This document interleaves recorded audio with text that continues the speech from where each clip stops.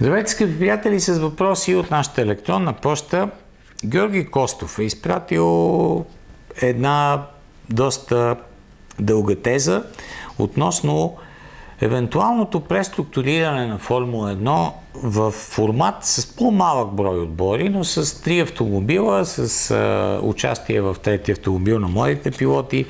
Няма ли това да е много по-добрия вариант за развитие на спорта, предвид ограничаването на разходите, на приходите в а, състезанията, т.е. да а, раздадем пицата, както той е написал, да я разрежем на по-малко парчета и, и по-малко отбори да получат, но значително а, по-качествена храна в а, близко бъдеще и при положение, че в а, отборите с едни и същи автомобили имат право да участват същия брой реално пилоти, няма ли да е по-интересно.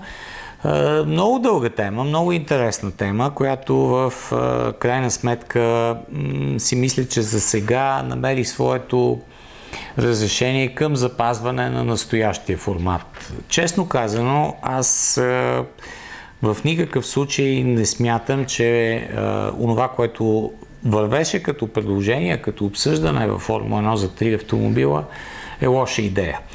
А, детайлите обаче са много сложни. Дали, дали трети автомобил ще получава точки за шампионата, дали в него може да участва само а, млад пилот, дали пък той по какъв начин може да влияе на борбата за титлата при едно евентуално а, стечение обстоятелствата, в а, което два водещи отбора се водят за успеха. Много детайли има и а, имаше и предложения за това по-малките отбори, които са групирани, както пише и самия Георги Костов, в някакви групи, нали, Алфа Таури с Red Bull или а, примерно Алфа Ромео с Ферари, по-малките отбори, просто да получават директно а, шасита или стари или дори от настоящия сезон от водещите отбори, но а, това за сега не се приема. Смисъл, смята се, че още м- Формула 1 не е стигнала до подобен етап на развитие, в който да се ориентира към използване на три автомобила от един и същи екип. Защото тези три автомобила пък ще струват много повече на водещите отбори. Разликата би трябвало още да се увеличи дори между трите водещи отбори и от останалите.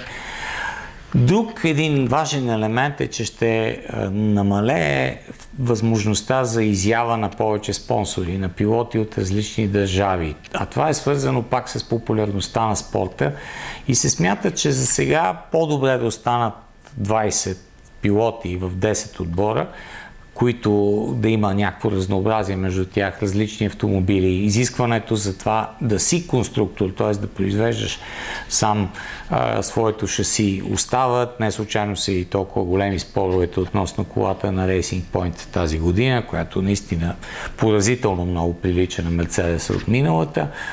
И а, по-скоро се защитава философията, че в а, Формула 1 трябва да има по-голямо разнообразие. Сега, шефовете на спорта в лицето на хора като, като Рос Браун, като Чейз Кери, дори се стремят вече в оформянето на правилата за 2025 година, не за задвижващите системи специално, да направят така, че да привлекат още и още производители на задвижващи системи, т.е. големи автомобилни концерни, които а, да имат своето участие в спорта. Естествено и тяхната маркетинг активност ще бъде свързана с участие в Формула 1, което пък ще повиши самото ниво на Формула 1. И поради тази причина си мисля, че те по-скоро ще направят така, че спорта да стане по-достъпен, по-ефтин, от една страна, за да могат да привлекат и повече потенциални участници като, като отбори, защото, окей, в момента, както казва Джин Хас, бизнес модела не е добър за отборите, които са в средата на класирането, но ако всички тези ограничения, които бяха въведени, проработят и един отбор е в добро, солидно финансово състояние и той може да потърси нов партньор. Нали? Винаги се стремят към привличането на нови и нови партньори и тогава пък с нов партньор, производител, който пък да инвестира в нови технологии и в развитие на спорта, да стане още по-интересно.